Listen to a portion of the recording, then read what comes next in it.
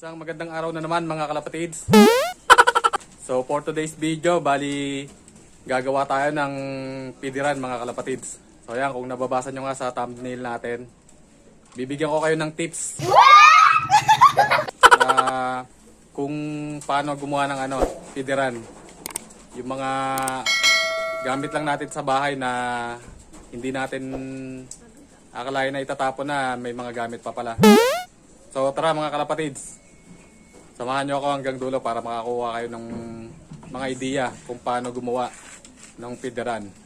So bago yan, intro muna tayo. Pasok!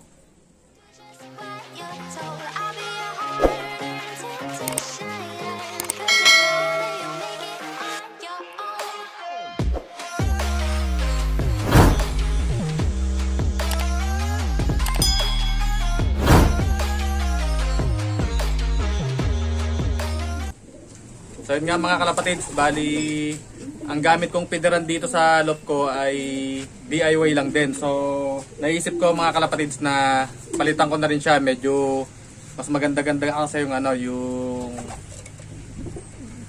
palo china mga kalapatids. So ito yung ginagamit kong ano, pideran dito sa ano, sa loob ng loob ko. So bali ano lang din to mga kalapatids. Ito yung dati kong ano, dati kong alkansya mga kalapatid. Hotdog! Kasi ano, kawayan. Yung alkansya namin na ano, nabiniyak na.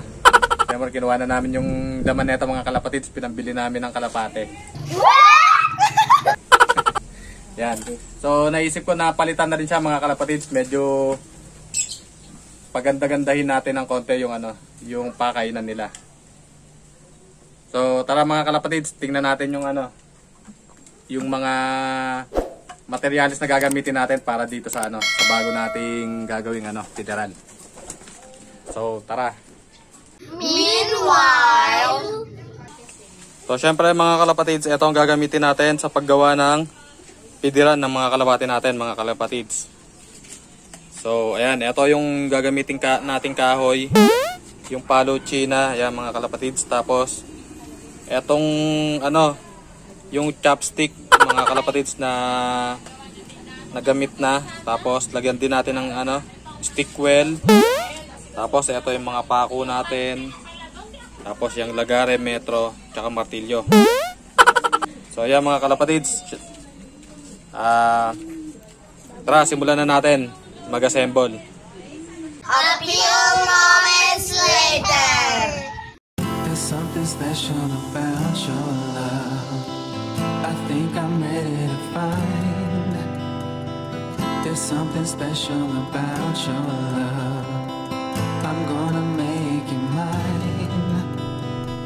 There's something special about your love. I think it's one of a kind. There's something special about your love. I want it all the time.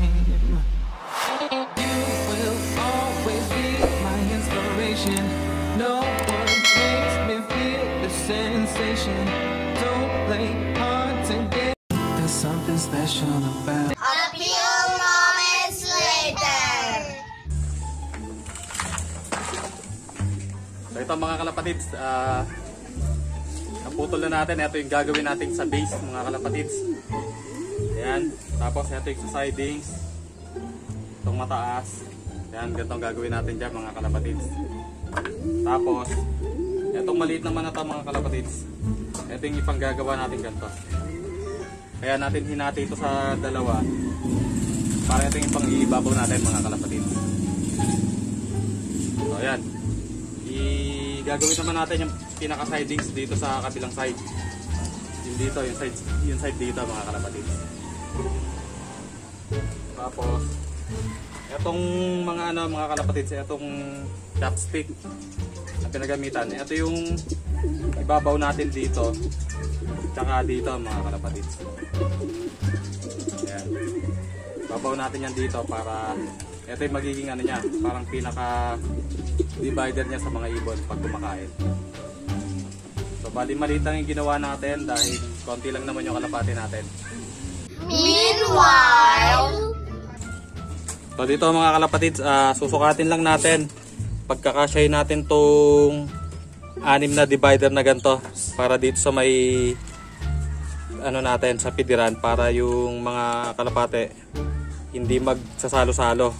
So ayan, may mga divider sila. Hahatiin natin to sa sa anim na equal size. So ayan, lalagyan lang natin ng marker para tapos ah, bubutasan natin para maikabit natin tong mga chopstick na ano, mga used chopstick. So yun, dito mga kalapatids, bali ah, bubutasan na natin tong ano, yung ginawa nating kahoy na ano, pang sidings. Babarinahan natin mga kalapatids para may etong paglalagyan nitong ano, yung chopstick na gagamitin natin pang ano, pang divider. So, ang gagamitin nating talim ng barena kalapatids is ano, 1 4 ang diameter. So,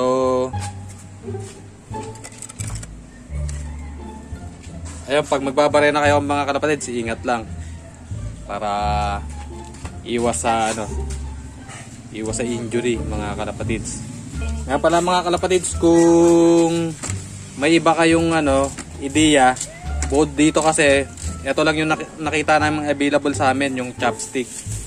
Pwede nyo rin gamitin yung ano, yung yung banana cue stick. Okay din yun mga kalapatids. Medyo konting lilihayin nyo na lang, tapos ipang divider nyo rin dito sa ano. Itong ilalagay nyo sa gilid. So ito mga kalapatids, tara. Ah, barinayan na natin. Something special about your love. I think I'm ready to find. There's something special about your love. I'm gonna make you mine. There's something special about your love. I think it's one of a kind. There's something special. So ayun mga kalapatids, nabutasan na natin. So tara, lipat naman tayo sa susunod na step. So tara mga kalapatids, assemble na natin to. Yan, huwag na natin patagalin. There's something special about your love. I think I'm ready to find. There's something special about your love. I'm gonna make you mine. There's something special about your love. I think it's one of a kind. There's something, there's something special about your love. I think I'm ready to find. There's something special about your love. I'm gonna make you mine. There's something special about your love. I think it's one of a kind. There's something spe- there's something special about your love. I think I'm ready to find. There's something special about your love. I'm gonna make you mine. There's something special about your love. I think it's one of a kind. There's something spe- there's something special about your love. I think I'm ready to find. There's something special about your love. I'm gonna There's something special about your love. I think it's one of a kind. There's something spe- there's something special about your love. I think I'm ready to find. There's something special about your love. I'm gonna make you mine. There's something special about your love. Think it's one of a kind. There's something spe- there's something special about your love. I think I'm ready to find. There's something special about your love. I'm gonna make you mine. There's something special about your love. I think it's one of a kind. There's something spe- there's something special about your love. I think I'm ready to find. There's something special about your love. I'm gonna make you mine. There's something special about your love. I think it's one of a kind. There's something special. there's something special about your love. Think I'm ready to find. There's something special about your love. Three and a half hours later. So ito na mga kalapatids, bali tapos na nga natin tong ano natin, yung DIY pidira natin. Oh my God! Wow! na patuka ng ating mga kalapate. So bali ito kalapatids is good for ano lang to, 2, 4, 5, mga 10 kalapate mga kalapatids. Kabilaan, lima dito sa harap, tapos lima din dito sa likod. So hindi pa rin natin siya mga kalapatids na ano, na naliliha para kuminis yung ano, yung mga gilid-gilid, yung mga pinaglagarian natin. Yan. So, pero ano na rin to, pwede nang gamitin mga kalapatids. Tapos ang ginawa ko palang ano niya, yung takip dito sa ibabaw is sliding. Ayan. So mga kalapatids, sliding yung takip niya. Ito naman yung masira. Ito. Ayan, bali ang takip natin pag paglalagyan ng patoka, ayan. Dito lang natin ibubuhos. Ayan. Ayan, tapos pag isasara, ayan, ganito. Pwede siyang tanggalin kaliwat kanan. Ayan, ang layo ng camera natin. Kaya mga kalapatids, pwedeng ang pagtanggal ng takip is yan, sliding. Pwedeng sa kaliwat kanan kung saan kasanay. Yan mga kalapatids. So, yan nga, inabot na tayo ng hapon. Bali, tatapusin na natin dito yung video natin. So, yan mga kalapatids, bago natin tapusin ang video natin, shoutout muna tayo kay Videoman Love TV. Shoutout din kay Lax Love TV from Baguio City. Shoutout din kay Dreamers Pigeon TV.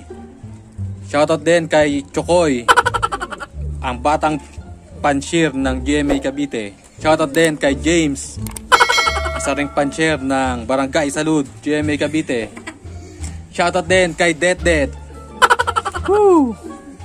Shoutout din kay Rap Rap na katulong ko sa paggawa na itong ano, DIY pigeon feeder na good for 10 pigeons lang mga kalapatids. So yan, sa mga hindi pa po nakapag-subscribe sa aming channel, muli, Like, comment, and subscribe. Bye-bye.